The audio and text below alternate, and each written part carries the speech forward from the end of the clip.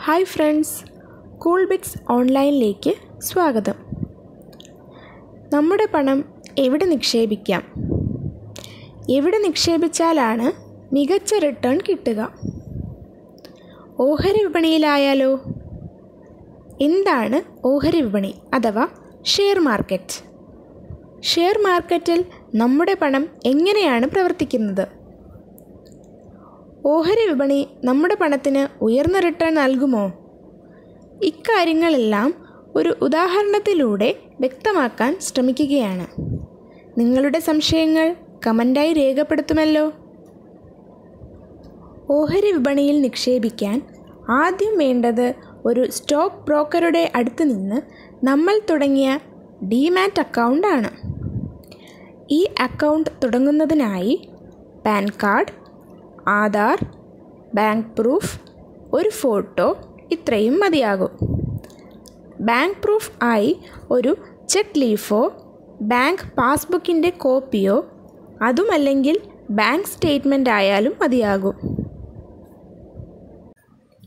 ഒരു കമ്പനി. ഉദാഹരണമായി സമ്പന്നരിൽ ഒന്നാമതായ മുകേഷ് അംബാനിയുടെ റിലയൻസ് ഇൻഡസ്ട്രീസ് ഈ കമ്പനിയുടെ ഒരു ഓഹരിയുടെ ഇന്നത്തെ വില ആയിരത്തി ഒരുന്നൂറ്റി അൻപതാണ് ഈ വില പ്രകാരം ഞാൻ പത്ത് ഓഹരി വാങ്ങുന്നു. എന്റെ മുടക്ക് മുതൽ പതിനൊന്നായിരത്തി അഞ്ഞൂറാണ് ഈ ഓഹരി ഞാൻ തുടങ്ങിയ എന്റെ ഡിമാറ്റ് അക്കൗണ്ടിൽ സൂക്ഷിക്കപ്പെടുന്നു. റിലയൻസ് ഇൻഡസ്ട്രീസ് എന്ന കമ്പനിയിൽ ഇനി ഉണ്ടാകുന്ന ലാഭങ്ങളും നഷ്ടങ്ങളും എന്റെയും കൂടിയാണ്. കാരണം റിലയൻസ് കമ്പനിയിൽ ഞാനിപ്പോൾ എന്റെ കാശ് നിക്ഷേപിച്ചിരിക്കുകയാണ്. റിലയൻസ് കമ്പനി ഉണ്ടാക്കുന്ന ലാഭത്തിന്റെ ഒരു നിശ്ചിത ശതമാനം ആ കമ്പനിയുടെ ഓഹരി വാങ്ങി സൂക്ഷിക്കുന്ന എല്ലാവർക്കും കിട്ടുന്നു. ലാഭമുണ്ടാക്കുന്ന കമ്പനികളിൽ നിക്ഷേപിക്കാൻ ആളുകൾ എപ്പോഴും ശ്രദ്ധാലുവായിരിക്കും. അങ്ങനെ ആളുകൾ വാങ്ങാൻ കൂടുതലുണ്ടെങ്കിൽ സ്വാഭാവികമായും റിലയൻസ് കമ്പനിയുടെ ഓഹരിയുടെ വിലയും കൂടുന്നതായിരിക്കും. അപ്പോൾ നമ്മൾ ആയിരത്തി ഒരുന്നൂറ്റി അൻപത് രൂപ വീതം മുടക്കിയ ഒരു ഓഹരിയുടെ വില ഉയരുകയും അതിന് കൂടുതൽ മൂല്യം ഉണ്ടാകുകയും ചെയ്യുന്നു.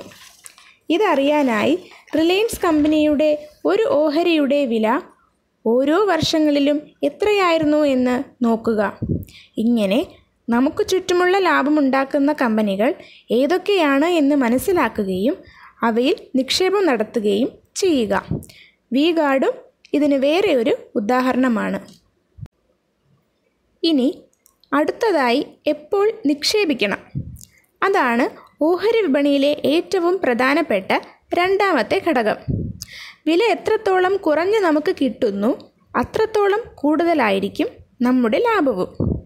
എപ്പോഴൊക്കെയാണ് വില കുറഞ്ഞു കിട്ടുന്നത്? ഇപ്പോൾ ഈ കൊറോണ കാലത്ത് കൊറോണ ആദ്യം ബാധിച്ചത് ഓഹരി വിപണിയെയാണ്. അവിടെ ഓഹരികളുടെ വില വളരെ കുറയുകയുണ്ടായി. വില കുറയുന്നതിന് കാരണം ആളുകളെല്ലാം വിൽപ്പനക്കാരായതാണ്.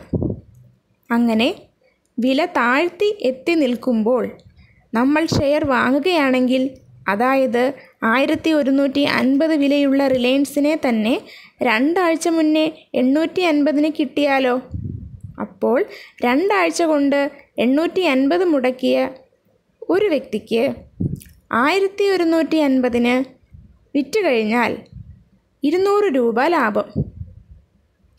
ഇനി ആയിരത്തി ഒരുന്നൂറ്റി അൻപതിന് റിലയൻസ് വാങ്ങിയ ഞാൻ എണ്ണൂറ്റി അൻപത് രൂപ വന്നപ്പോൾ വീണ്ടും പത്തെണ്ണം വാങ്ങുകയുണ്ടായി. ഇപ്പോൾ എന്റെ ഓഹരികളുടെ ആവറേജ് വില എന്ന് പറയുന്നത് ആയിരം രൂപയാണ്. ഇനി റിലയൻസ് ആയിരത്തി ഒരുന്നൂറ്റി അൻപതിലേക്ക് എത്തുമ്പോൾ എന്റെ ലാഭം എന്നത് മൂവായിരം രൂപയാണ്. അതായത് ഒരു ഷെയറിന് നൂറ്റി അൻപത് രൂപ വീതം ഇരുപത് ഷെയറിന് മൂവായിരം രൂപ. ഇനി എങ്ങനെ നഷ്ടം സംഭവിക്കുന്നു? ഷെയർ മാർക്കറ്റിനെ സംബന്ധിച്ച് പൊതുവായ ആപ്തവാക്യം എന്റെ കാശെല്ലാം ഷെയർ മാർക്കറ്റിൽ ഇട്ടുപോയി എന്താണ് ഇതിന്റെ സത്യാവസ്ഥ? ഓഹരി താഴ്ന്ന വിലയ്ക്ക് വാങ്ങി ഉയർന്ന വിലയ്ക്ക് കൊടുത്താൽ ലാഭം തന്നെ തർക്കമില്ല. അതേസമയം ഉയർന്ന വിലയ്ക്ക് വാങ്ങി കുറഞ്ഞ വിലയ്ക്ക് കൊടുത്താലോ?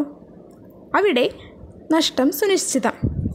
അതുപോലെ നമ്മുടെ കയ്യിലുള്ള പണത്തേക്കാൾ മൂല്യമുള്ള ഓഹരികൾ മാർജിനിൽ വാങ്ങുന്നത് മൂലവും നഷ്ടം സംഭവിക്കാം. ഇങ്ങനെ നഷ്ടങ്ങൾ സംഭവിക്കാതെ എങ്ങനെ സുരക്ഷിതമായി ഷെയർ മാർക്കറ്റിൽ ഇൻവെസ്റ്റ് ചെയ്യാം? അല്ലെങ്കിൽ സ്റ്റോക്ക് മാർക്കറ്റിൽ ലാഭം കിട്ടുന്നതിന് നമ്മൾ അറിഞ്ഞിരിക്കേണ്ട കാര്യങ്ങൾ. ഒന്നാമതായി മറ്റുള്ളവർ പറയുന്നത് കേട്ട് കണ്ണും പൂട്ടി ഓഹരികൾ വാങ്ങാതിരിക്കുക. ഷെയറുകളെക്കുറിച്ച് കൃത്യമായി മനസ്സിലാക്കുകയും അടിസ്ഥാന വിവരങ്ങൾ ആദ്യം പഠിക്കുകയും ചെയ്യുക. നമ്മുടെ കയ്യിലെ നീക്കിയിരിപ്പ് പണം മാത്രം ഇൻവെസ്റ്റ് ചെയ്യാനായി ഉപയോഗിക്കുക. തിടുക്കപ്പെട്ട് ലാഭം ബുക്ക് ചെയ്യാതിരിക്കുക. മാക്സിമം പ്രോഫിറ്റാണ് നമ്മുടെ ലക്ഷ്യം. മുൻപ് നല്ലതായിരുന്നു എന്ന കാരണത്താൽ മാത്രം ആ ഷെയർ വാങ്ങാതിരിക്കുക. അടിസ്ഥാന വിവരങ്ങൾ കൂടി തിരക്കിയ ശേഷം വാങ്ങുക. ഇനി നിക്ഷേപിക്കുന്നത് പോലെ പ്രധാനമാണ് സമയാസമയങ്ങളിൽ ലാഭം ബുക്ക് ചെയ്യുന്നതും. എവിടെ ലാഭം ബുക്ക് ചെയ്യണം എവിടെ നഷ്ടം ബുക്ക് ചെയ്യണം ഇവയെക്കുറിച്ചെല്ലാം അടുത്ത വീഡിയോയിൽ പറയുന്നതായിരിക്കും. നിങ്ങളുടെ വിലയേറിയ അഭിപ്രായങ്ങൾ കമന്റ് ചെയ്യുക. കൂടാതെ വീഡിയോ ഇഷ്ടമായാൽ ഷെയർ ചെയ്യാനും ലൈക്ക് ചെയ്യാനും മറക്കരുത്.